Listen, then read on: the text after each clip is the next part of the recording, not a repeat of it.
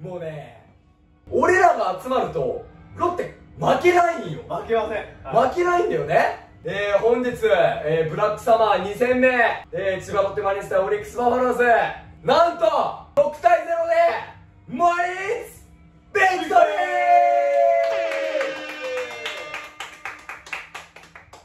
ー。ロッテのことしか考えてないから。ということで本日も短い動画やっていきましょう。まずはまずは8回まで無失点。もう昨日の小島投手同様に、えー、しっかりと先発として無失点で3連覇しているオリックス打線を抑えてくれました。ダネイチダネイチダネイチダネイチ誰チ誰チ誰チえー、それから打線の方は今日6点取ったということで全員やるようん、打った選手全員やるから、えー、まずは、えー、何回かはもう忘れました。もう僕らは今日ね酒の予約を取ってフリータイムで取っていつでも入れる状況でまあ酒なんかも飲んでね盛り上がらさせてもらいました。本当すいません。これに関しては。えー、その中で、えー、今日君よ君。はい君です。君です。ねえふったり。ねえふったり。ねえふったり。ねえふったり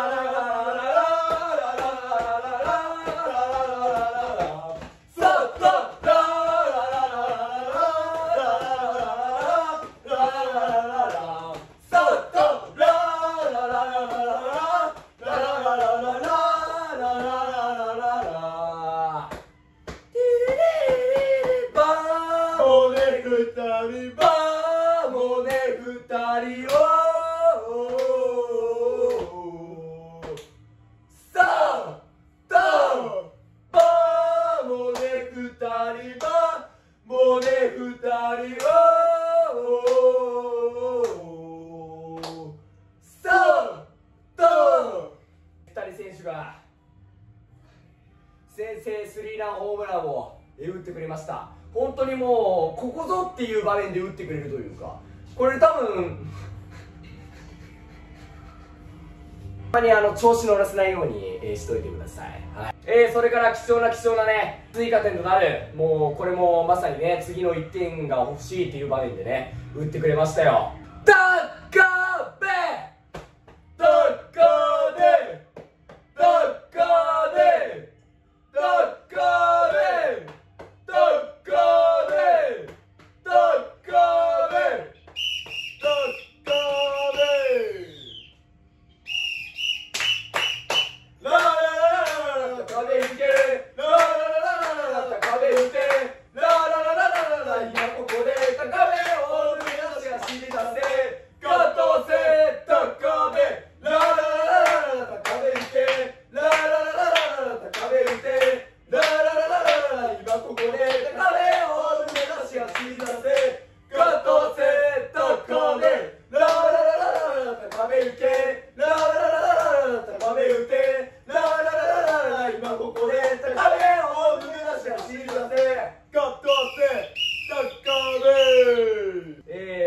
それからもう十分だろうというところでさらにさらに藤岡選手がいなきゃダメだと言われていたところでなんと今年から覚醒して出てきた小川選手。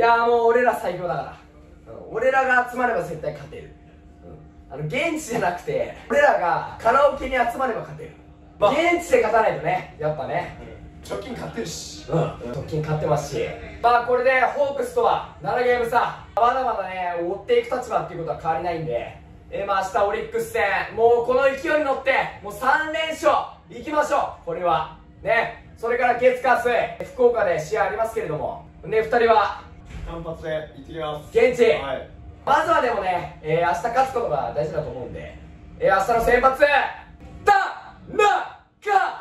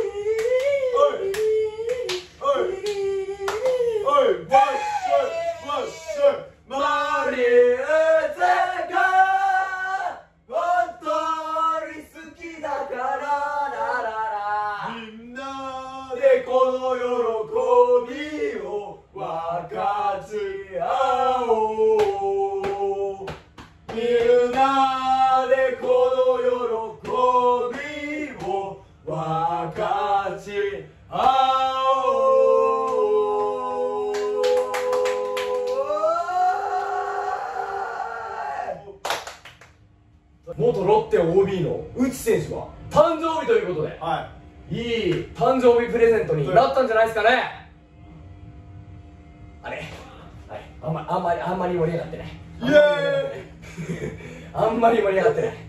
反応にちょっと困って そんな元ロッテの内選手の誕生日も含めまして本日勝利したということで3本締めで締めたいと思います。3連覇のオリックスにリベンジするためそして現在首位独勝中のホークスにホークスを狩るための準備できてますよね?明日の勝利も含めて3本締め!